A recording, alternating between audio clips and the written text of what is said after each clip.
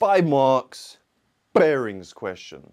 GCSE students do not like bearings, but actually guys, it's very simple as a concept, but the questions that examiners ask that utilize bearings can be quite difficult because non-right angle trigonometry usually, okay? But always remember the concept of bearings is very simple.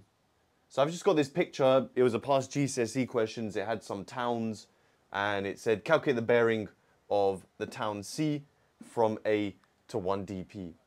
Now what is a bearing?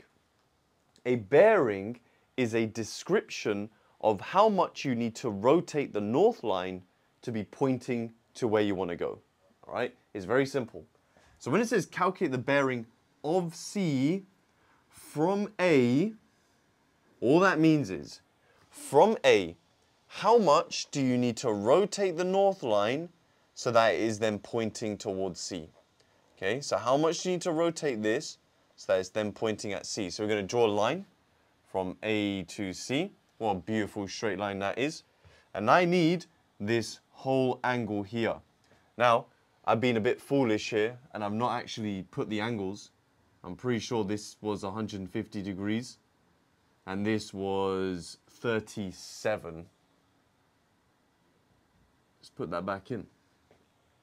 Okay, now, if I need to know this rotation to be pointing towards C, that just means I need this angle here. Theta, theta. How do I do that? Well, it's kind of giving me, because I want to know what this angle is, I have one angle, I have two lengths.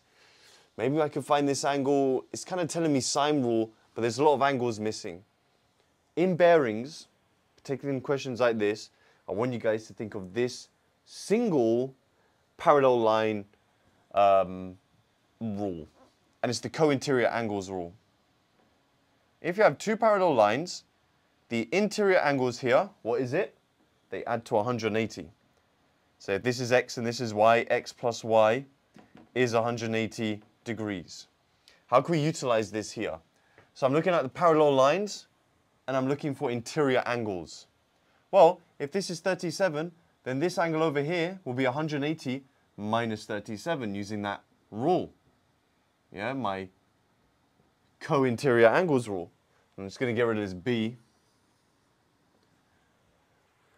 Just so I can uh, do my maths, 180 minus 37 before I make a mistake is 143 degrees. And if you guys want, you could do this one as well. That's the interior 150. This one here would be 30. Now, is it going to be useful to us? Maybe not, but why not just put on your diagram anyway? So we can now work out this angle by just doing 360 minus the other two angles. 360 minus 143 minus 150 is 67 degrees. Okay, now if I want to use the sine rule, I have two angles. I have sine of this over this equals, ah, that's a problem. Sine of this over this. But I don't have this length. It's not looking good. You could find it if you want. We could use the cosine rule to find this. Maybe we could use the sine rule with, could we use the sine rule again? If I had this angle, I have the opposite length. Sine of this over this, so finding this angle. But then, again, I have the issue of this does not have the opposite length, okay? So I can't use the sine rule, guys, because this pairing has an unknown, this pairing has an unknown, and this pairing has an unknown. So I'm going to go back to what I said originally is we need to work out this length first. Let's call it x. All right, so this is a tough question. We need to use the cosine rule and then probably use the sine rule after. What is the cosine rule? A squared is b squared plus c squared. So it starts off with Pythagoras' theorem minus 2bc cosine of the angle. Now your a's and b's, it's all about the opposites. So this is my capital A, this is my lowercase a, here's my b, here's my c. It doesn't matter in which order you do your b's and c's. So x squared is 8 squared plus 9 squared minus 2 lots of 8 and 9 and cos of 67. Okay. Now at the same time, what I'm going to do is I'm going to root both sides to find x. Now if you've been watching me long enough, you know exactly what I'm going to be doing with this answer. Especially my GCSE students on my main course. I've conditioned them well to, by default, do this. All right, so I have 8 times 9 times cos of 67. 9.4199. Okay? Now what I'm going to do is I'm going to store this value. I'm going to store it as the letter A. So that, so in my calculator, I'm just going to, above the 7, I have STOA. Yeah, so I'll probably have like a, a diagram here, well, video here showing you how I'm doing it. So we store it so I can utilize it in the future. So over here, I'm just going to get rid of this because the way I'm going to define this changes. So this is going to be 9.4199 dot dot dot, which I've stored as A. Okay. Now, with this value, how do we work out theta? Now I can use the sine rule. Sine of theta over the opposite length is equal to sine of 67 over the opposite length. Remember, the sine rule says that the ratio between sine of the angle divided by its opposite length is constant no matter which way you look at it. Okay, so let's say sine of theta over the opposite, 9, is sine of 67 divided by the opposite, 9.4199. Okay. Rearranging, we're trying to rearrange for theta. It says divide by 9. We're going to times through by 9 first. So that's going to bring it up to over there. So this is now gone.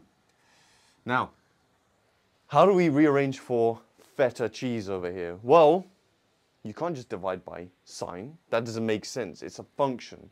Yeah, when we do f of x is 3, do you just divide by f to find x? No, you don't. We do the inverse function. We do the inverse of sine. So, we're going to write this. You guys should be trying this on your calculator as well. That cancels that. And now, we're going to utilize A, what I stored for A. So I'm going to do inverse sine of 9 sine 67 over alpha A. So things are stored for me.